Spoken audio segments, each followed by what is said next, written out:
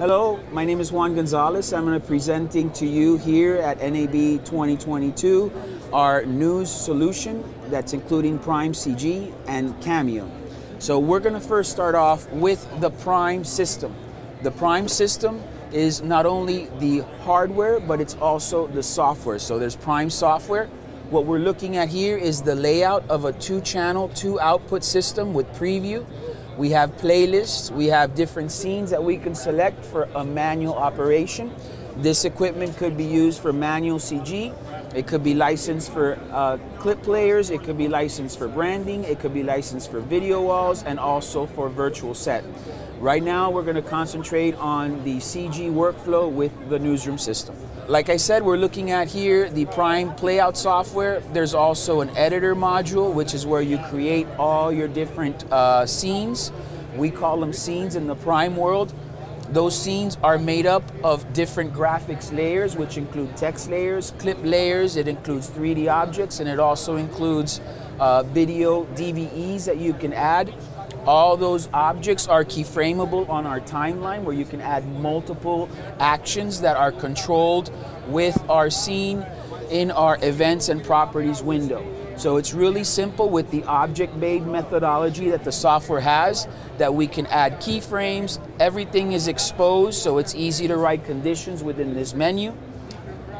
Also, all of those graphic elements we could add effects to. So you're going to notice that there's an effects column with different effects assigned to all those objects. Those effects can range from crawls, blur effects, character effects, auto spacing. Those can also include any kind of font style or any kind of masking and cropping capabilities. There is a lot of different tool sets that we've added in uh, Prime version 4.5 that you can enrich your animations and your uh, look with.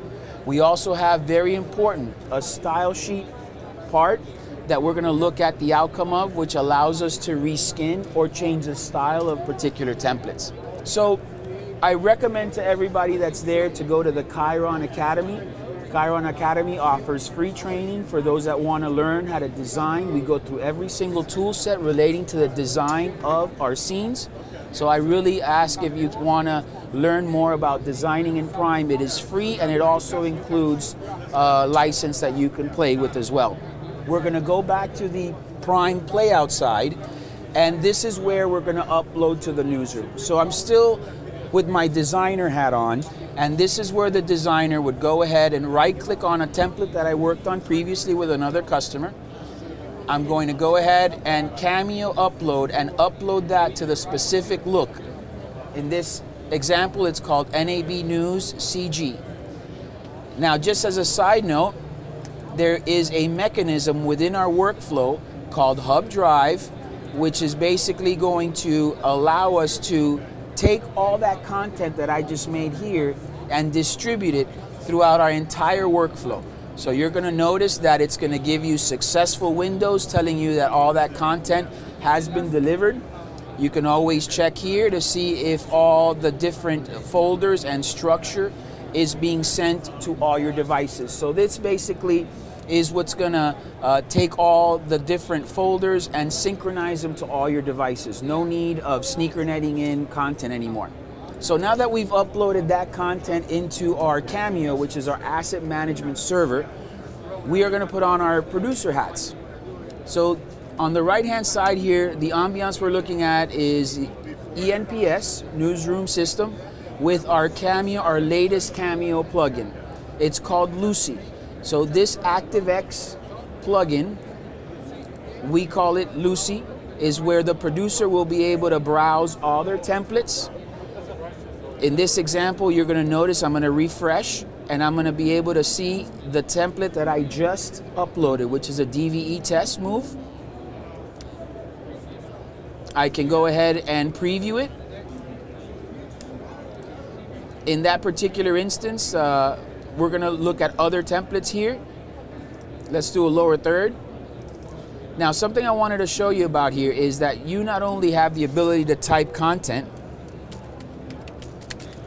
but you also have the ability to have pull down menus. So for example, here on the right hand side, I've already made a pull down menu that has options of different teams. Notice that changing something here can also affect other templates. So there's a lot of tool sets that we could talk about within the LUCI plugin that will allow us to make it easier for the producer to do all the changes they need to make. You also, if you needed to, you could also do free typing here. It also has spell check. And then one of the main things is it's auto preview. Once that preview is generated, there's a bunch of things that we could do with that. The journalist can now look at and see what that graphic is going to look like on the air and how it's going to animate. So it gives them an idea of how that function is going to happen. We also have the ability to take that graphic and export it for an editor or for your online content. So with the render media, this is using our media engine solution that's part of CAMIO. You could render this graphic as a still or as a movie file. So that could be used on uh, social media and can also be used by an editor in any piece. For the movies, we have different work workflows that allows you to render in different flavors and also allows you to distribute uh, depending on the category that you can create in your plant. We also have the ability to save content. So this is really important if you want to pre-stage a lot of content. This is great for pre-staging any kind of graphic that you don't know when or where you're going to use, but you know you're going to use it at some point. And that's available in a tab called Saved Items. So you'll notice that saved items, all those items are previously saved. I never added it to a rundown. I could always search the terms of what is typed inside those graphics. So if I know that I typed Juan, in one of those graphics. Only the ones that have typed the name will show up. This tool, the saved items, is going to save producers a lot of time in having to create base templates that they already know they're going to use. For example, the city name, politicians' names, locators of townships, and things like that. We also have content that we can browse. So, for example, these are all elements that get incorporated into templates. An example here is that there's going to be a graphic template like this one that I want to make a graphic for. So let me go ahead and go to a template that has a replaceable for that image. The designer decides what the producer can change or not.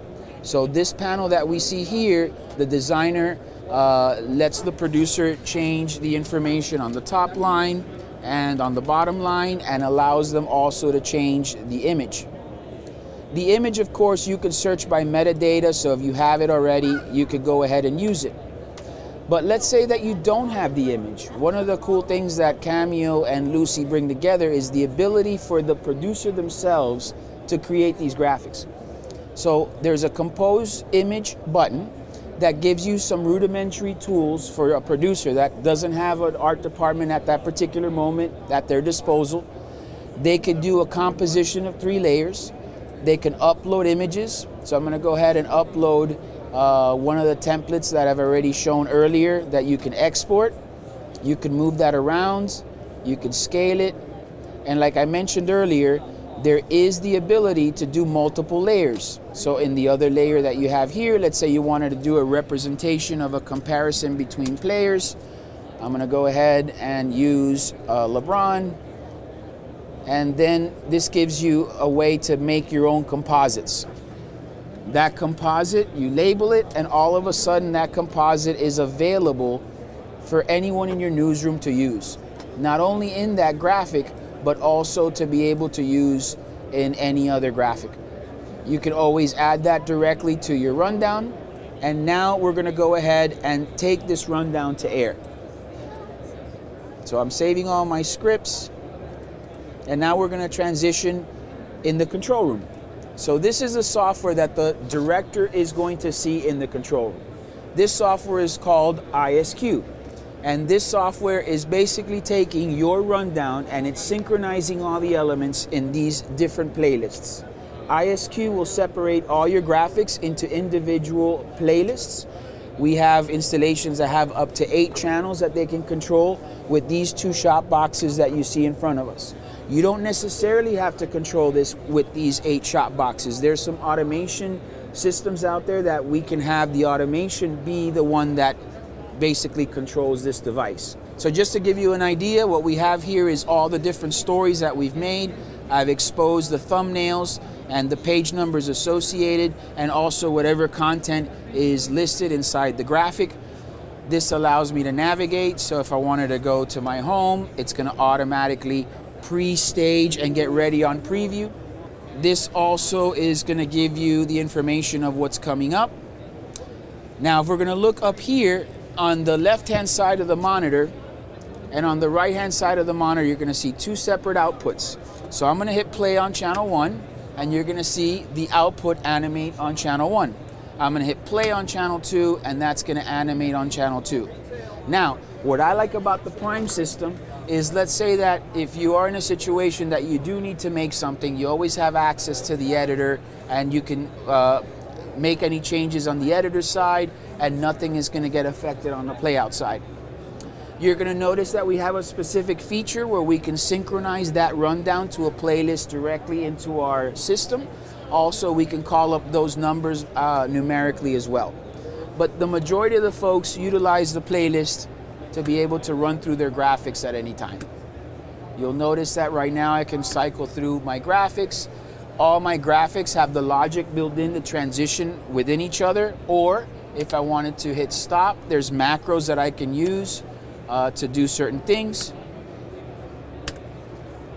We can also use GPIs for those of you that continue to use the tally workflow as well. And just to add to this, Prime is a multi-layered system.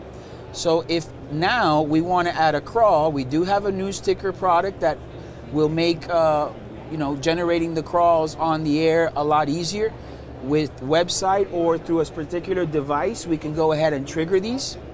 I'm going to hit broadcast, and you're going to notice that at the same time, we're going to have all of our news graphics on channel one, and in another layer, this system will automatically be using our automation tool to feed graphics information and any kind of logic directly to the screen.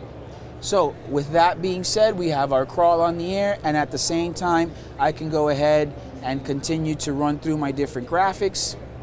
So let's say that I wanted to, any kind of graphic that I want, you can always uh, switch the graphic. You can always, you know, change it. And basically keep on cycling down with your show. Same thing goes for the other channel.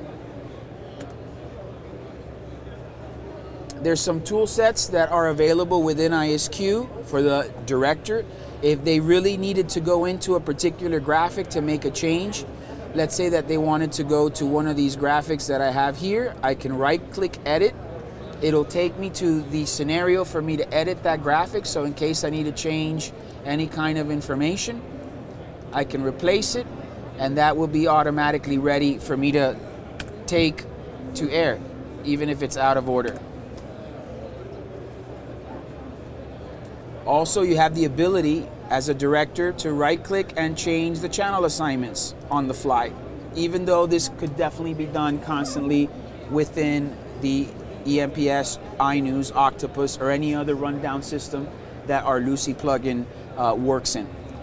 Again, I hope you enjoyed the review of our workflow from start to finish. Notice how quickly we can get you to air. A template is created, upload, a producer uses it, and automatically it's ready for you to air through our ISQ playback.